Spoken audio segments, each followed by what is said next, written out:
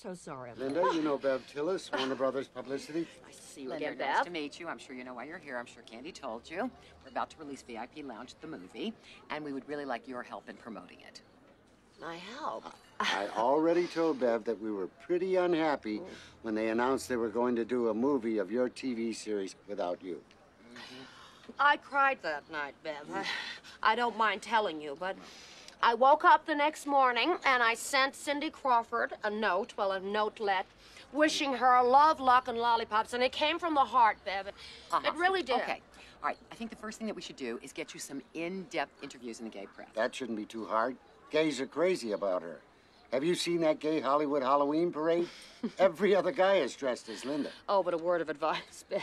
Don't get involved in the costume judging. Remember that Sharon Oscar night spit on me, Candy? You know, faggot. Candy, please. Well, I don't care. He spit Okay. on you. Okay. Now, what I want you to do is I want you to play the martyr. You're very upset. You weren't included in the movie. And then I want you to badmouth Cindy Crawford a little. Now, I know that sounds crazy, hmm. kid, but Bev tells me it's a campaign that's worked with these TV to movie things. Absolutely. It's called reverse marketing. I mean, everybody's doing it. Peter Lupus did it for Mission Impossible, and then Jan and Greg did it for both of the Brady Bunch movies and the big hits. I, I don't think I'd be convincing because I can't think of anything bad to say about Cindy Crawford. Try. She's so marvelous. Well, it's Right, no right. problem because you know what? My staff will make up some negative things. We'll feed that to the press, and then we'll attribute them to you. I don't know, though. How about if you sang the theme song to the movie? And it would be a music video, huh? Oh, my. What, Candy? I'd be on MTV? Absolutely. Oh, my goodness. well, I don't know about MTV, but I, I think I could get you some placement on VH1. Oh, the Michael Bolton channel. Oh, I love it on a rainy day. Oh, I don't know if I'm supposed to do this bitter, unhappy, jealous thing. It's, it's going to take some rehearsal. Okay, try. Um, what, like, uh, Say something. No. God, I'm so mad at Cindy Crawford. Oh, not really. I think she's marvelous. I, you see, I'm apologizing. I've- No, but It's I- going to take some rehearsal. All it right. didn't come Then- naturally. It It, didn't, good, it didn't though. trip off the tongue more. there.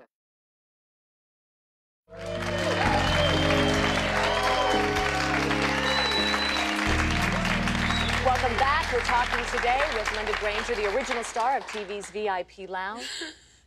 Linda, are you okay? I'm sorry, Leeza, but I am just so hurt. Well, your story of show business betrayal has gotten a lot of coverage, especially in the gay press. Yes, they, uh... We're here. We're queer. We're really mad that Linda's not in the movie. Get used to it. Oh, thank you so much. Mwah. Candy kisses. Oh, you're so wonderful. But there is some good news because I have just released the single and a video from the movie Danger in the Skies. But now, I actually thought that Celine Dion did the title song for the movie. Well, darling, that's right. She did the ballad. I did the disco remix. So. Back to your feud with Cindy. Yeah. Uh, I would like to read from your actual press release now, and I'm quoting here. Yes, Leeza. Cindy Crawford is a no talent slut. Oh, Linda? Goodness, I. Well, I. Leeza, I, I, I was so angry at the time. You know, I. You go on to uh, say Miss Crawford couldn't act her way out of a bulimia clinic, which I'm sure she attends. Did I say that?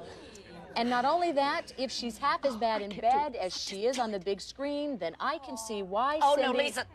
Leeza, don't. I'm sorry, Bev. I can't keep up this charade. No. Who is Bev? Beth Mellis is the PR woman uh, for the movie, and um, I know she thinks that these hateful remarks are uh, brilliant headline grabbers, but I can't go through with it. I, I, I have to say that I think that Cindy Crawford is a marvelous actress, and I think she's a gifted spokesperson. I don't care if they yank my video. I, I just have to say that. But Linda, Thank you. no, no, no, no, no. You shouldn't be upset. No, no, no, no. You must come back because what this means to me is, in this age of sleep, come over here so we can applaud you for your courage to be so kind. So kind.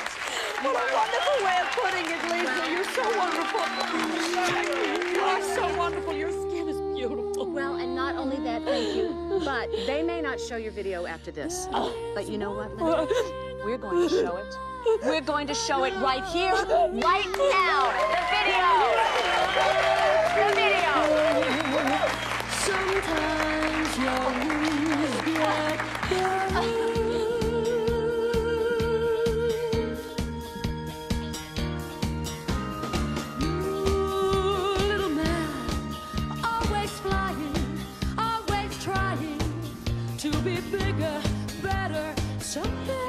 I used in my Vegas act.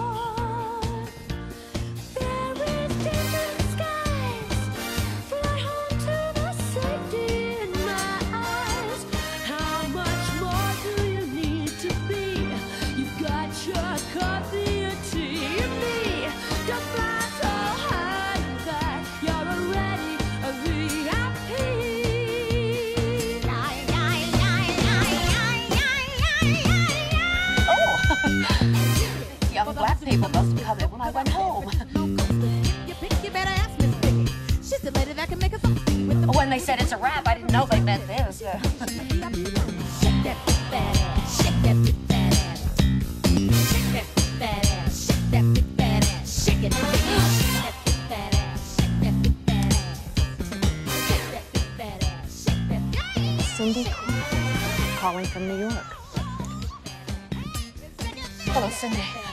You must hate me. Oh, you're a beautiful person, too. Not just on the outside. What? Oh, no, Cynthia. I can't fire Beth for you. That's something you're going to have to do yourself. Hold on.